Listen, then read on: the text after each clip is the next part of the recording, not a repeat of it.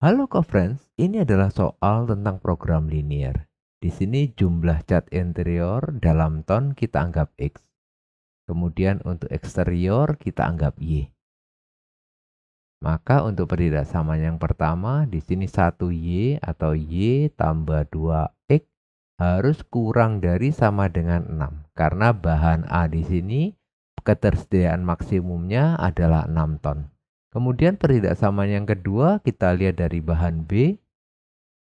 Di sini 2Y ditambah 1X atau X kurang dari sama dengan 8. Kemudian di sini permintaan harian cat interior lebih tinggi dari permintaan cat eksterior tapi tidak lebih dari 1 ton per hari. Maka bisa kita tuliskan X-nya dikurangi Y kurang dari sama dengan 1.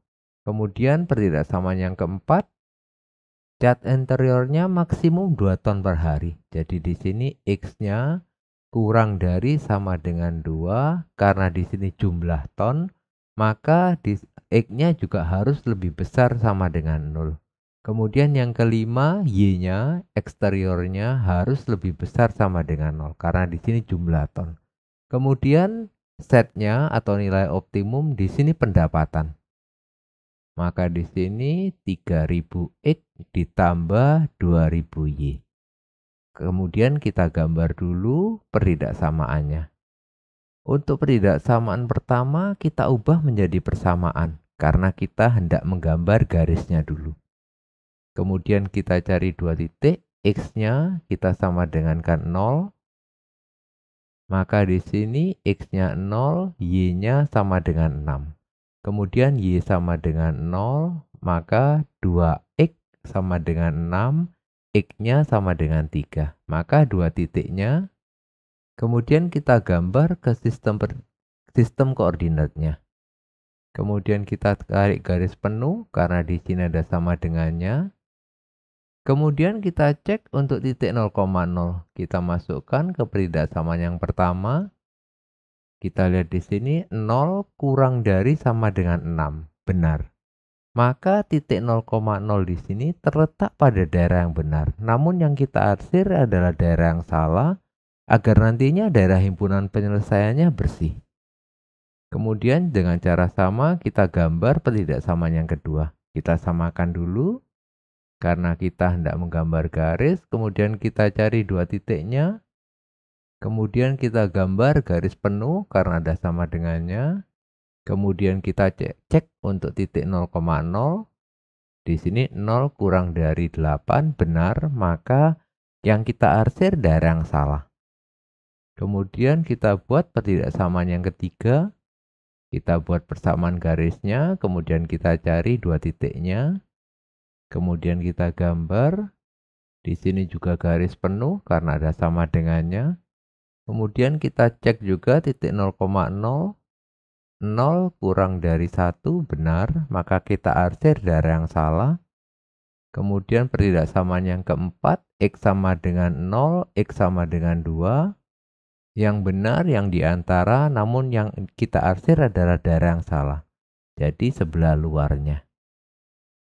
Kemudian Y lebih besar sama dengan 0. Y sama dengan 0 adalah sumbu X juga kita arsir daerah yang salah. Jadi ini adalah daerah himpunan penyelesaiannya. Kemudian kita lihat titik kritisnya. Ada 6, yang pertama adalah 0,0. Kemudian yang kedua adalah 0,4.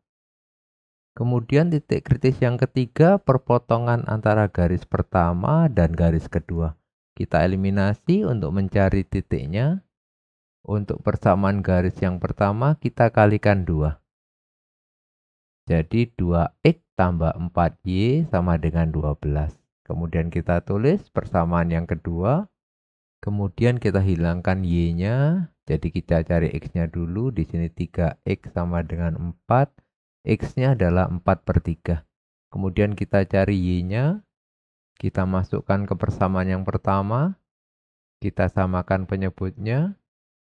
Jadi Y-nya adalah 10 per 3. Maka titik kritis yang ketiga adalah 1 1 per 3 Y-nya 3 1 per 3. Kemudian yang titik kritis keempat adalah perpotongan garis yang kedua dan X sama dengan 2. Jadi X-nya kita masukkan 2.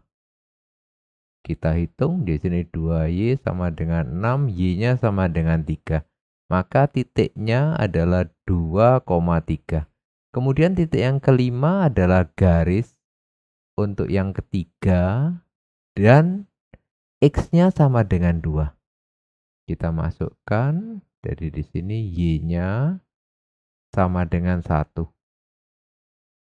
Yang kelima 2,1. Kemudian yang keenam kita lihat di sini 1,0. Kemudian kita masukkan ke nilai optimumnya. Kita masukkan, kemudian kita hitung, kemudian karena yang ditanya, ditanyakan adalah maksimal atau paling besar, maka yang paling besar adalah yang ini. Yang ditanyakan adalah masing-masing catnya. Jadi jawabannya X-nya 2 ton, di sini cat interiornya, kemudian Y-nya 3 ton. Jadi cat eksteriornya 3 ton. Ini jawabannya. Sampai jumpa pada soal berikutnya.